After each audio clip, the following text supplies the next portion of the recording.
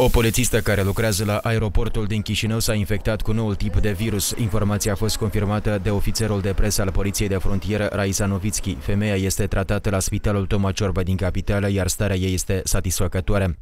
Pe data de 18 martie, aceasta a fost transportată la Spitalul Toma Ciorba cu simptome caracteristice uh, COVID-19 și deja pe data de 19 a fost confirmată infecția. Toți colegii care au lucrat în această tură au fost uh, plasați în carantină. Raisa Novitski nu ne-a putut spune ce vârstă are angajata diagnosticată cu COVID-19 și nici numărul polițiștilor de frontieră care au fost plasați în carantină la domiciliu. Despre acest caz de îmbolnăvire a vorbit și președintele Igor Dodon. Vreau să mulțumesc foarte mult medicilor medicilor, polițiștilor care stau în prima linie. Ați văzut că avem uh, deja o, uh, un polițist care este de asemenea fiind la, la frontieră, primind cetățenii noștri care intră în țară, de asemenea s-a îmbolnăvit cu coronavirusul. Polițiștii de frontieră plasați în carantină vor rămâne acasă timp de două săptămâni, iar starea lor de sănătate va fi monitorizată de specialiști.